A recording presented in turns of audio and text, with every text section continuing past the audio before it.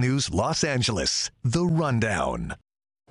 Hello, I'm Tom Waite. Here are your top stories. President Biden has touched down in Los Angeles. He and the First Lady are here for a weekend of fundraising. KCAL News reporter Joy Benedict is in Westwood with a look at the security and traffic effects and protests.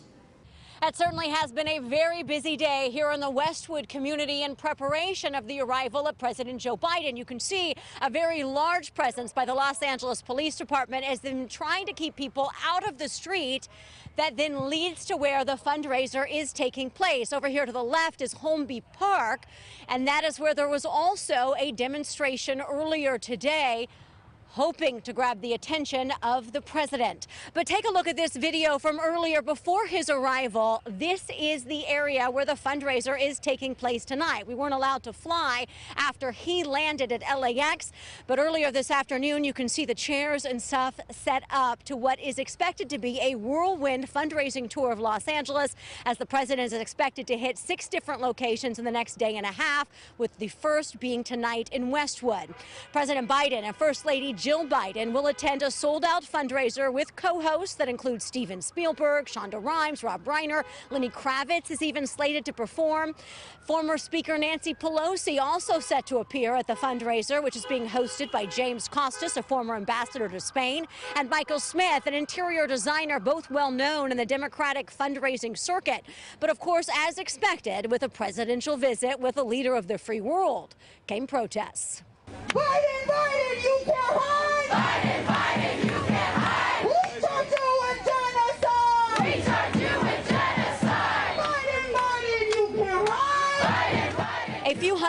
people came out to Holmby Park nearby this afternoon for a pro-Palestinian rally. They were loud, they were vocal about America's involvement with Israel and wanting the nation to do more to protect innocent Palestinian lives caught in the conflict between Israel and Hamas. Of course, the presidential fundraiser already taking place right now at this hour here in this community. And as I mentioned, the first of many that are slated over the weekend, as this is the first time the president has been here to Southern California to fundraise since making that announcement back in April that he was, in fact, running for re-election. So certainly more to come on this visit tonight and many more this weekend. From Westwood, I'm Joy Benedict, KCAL News.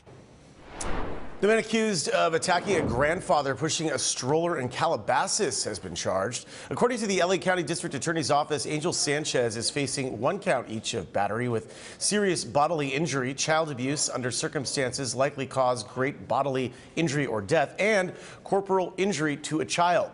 The attack happened Tuesday afternoon. LA County sheriffs say that even though the stroller fell over, the child was inside. Mean, he's okay. The 60 year old grandfather had some pain, but is also all right. And just an hour before the attack, officials say the 29 year old suspect also attacked a 14 year old boy. Metro is cracking down on drivers who park in bus lanes. KCAL News reporter Lauren Pozen shows us the high tech way the agency plans to do it. Metro is putting drivers on notice who park in bus lanes. I'm Lauren Pozen in Culver City. There goes a bus right now. A hundred of these cameras are going to be put on the windshields of buses, and they're going to be looking for drivers who are parked right about here, right where this bus lane is. Because what's been going on is when the buses come through here, and a car is parked here, and it might not be a car, it might be a delivery truck, any type of vehicle parked where it's not supposed to be, it's causing major backup times for the Metro.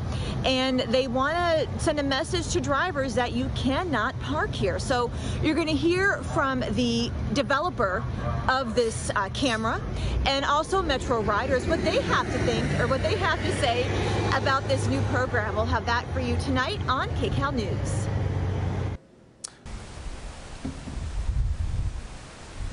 All right, now to our weather. Powerful winds in some areas tonight, like Porter Ranch there, and they might get even stronger this weekend. And along the coast, we are tracking high wind warnings. A live look at Santa Monica tonight. What can we expect for the weekend? Danny Roberti has those answers in your next weather. Hi, Danny. Hey, Tom. Happy Friday to you. Yeah, it's all about the winds tonight, and actually, they are going to strengthen as we go into our Friday night, early Saturday morning, and in many areas, they are going to be howling. Some of these winds might even wake you up. In the middle of the night. So let's talk about those warnings and advisories. These areas shaded in purple, these are the high wind warnings. This is where the winds will be the strongest. We're talking gusts up to 60 miles per hour. It includes our LA County, Ventura County mountains. You can see Santa Clarita stretching down towards Thousand Oaks into Malibu. And then the yellow right there is indicating the wind advisory. So areas like Glendale in that, and we're also seeing parts of Orange County and also the Inland Empire. This actually doesn't include Riverside right now or areas like Corona, but everywhere is going to be a bit breezy. We could see gusts up to about 45 miles per hour in these areas shaded in yellow. So you can see Mission Viejo, Anaheim, and those areas. And that's all going to lead to the high fire danger that we're dealing with this weekend. And you know the drill when we're dealing with these Santa Anas. I mean, our relative humidity goes down. It's really dry out there. Things are windy. It's warm warm, and so if any fires start, they spread quickly. It's these areas shaded in red, most of the areas where we are seeing those wind advisories and warnings. San Bernardino down to Temecula, gusty winds and very low relative humidities. So let's talk about what's next, because not everyone is going to see this wind. But as we go into tonight, uh, late tonight, early tomorrow morning, that's when it's going to peak. It'll be dry, breezy, and warm all weekend. So aside from the winds, it's going to be a really nice weekend. Cooler by Monday, and no rain for now. I don't know if you're like me and you want some of that rain to make it feel more like the holidays. For the next week, we won't be seeing that. We're going to check in on those winds right now. Calm for most of us, but areas like Santa Clarita, Simi Valley, seeing gusts between 20, 25 miles per hour. And so things, this is just kind of a taste of what's to come as we go into our weekend. Santa Clarita, you wake up tomorrow morning and it's going to be a breezy start and a chilly start. Low 50s by about 6 o'clock, winds uh, between 20 and 25 miles per hour. And that's going to be the case for the first half of your day. But these winds aren't going to last or be as strong all weekend. So coming up at 8 on KCAL, we're going to be breaking down for you hour by hour when these winds move in, when they ramp up, and what it's going to feel like for your weekend. I think you're going to like it. That's coming up at 8. Tom.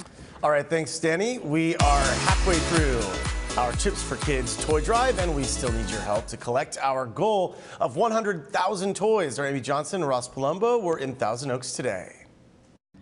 We are here at the Walgreens off into Park Road, and I mean, how could you have any more fun than hanging with these two men in red? Of course, Santa and Chipper and all of our friends from the CHP. We've been here collecting toys throughout the day, and we feel so lucky that so many of you have come down to donate a new unwrapped toy. You know, it has been an amazing day. We still have about a half hour, just more than a half hour to go. We're still collecting those unwrapped gifts, but joining me right now, Officer April Elliott. How are we doing so far this year? We're doing great. Uh, you guys have not disappointed. Uh, we've got thousands of toys here. We're starting already counting and we're just so grateful for everybody who's donated that we can give back these toys to you guys. So 33,000 toys so far. We're halfway through the drive uh, leading up to the week of Christmas, right? Yes. And this made a big dent in the goal. Uh, we're trying to get to 100,000. Yes, absolutely. We're trying every every toy counts. Mm -hmm. So uh, with your help, we can get it. We can get there. And such amazing, such an amazing event. You've been doing this for year after year. This is your first year. It's my first year. So how has it been? It's been great. You know, excited to be part of it this year, and uh, looking forward to you know uh, giving out those toys to those children. All right, thank you so much, and I'm going to send it back to Amy right and now. I'm going to send it back to you in the studio. All right, and here is look at the donation information again. If you'd like to donate a new unopened toy, here are some of the drop-off locations across Southern California. And you can also donate online by scanning the QR code on your screen, going to chipsforkids.com, or by texting toys to 76278. This has been CBS News Los Angeles, The Rundown. Thanks for joining us. We'll be back live at KCAL News at 8 here on CBS News Los Angeles.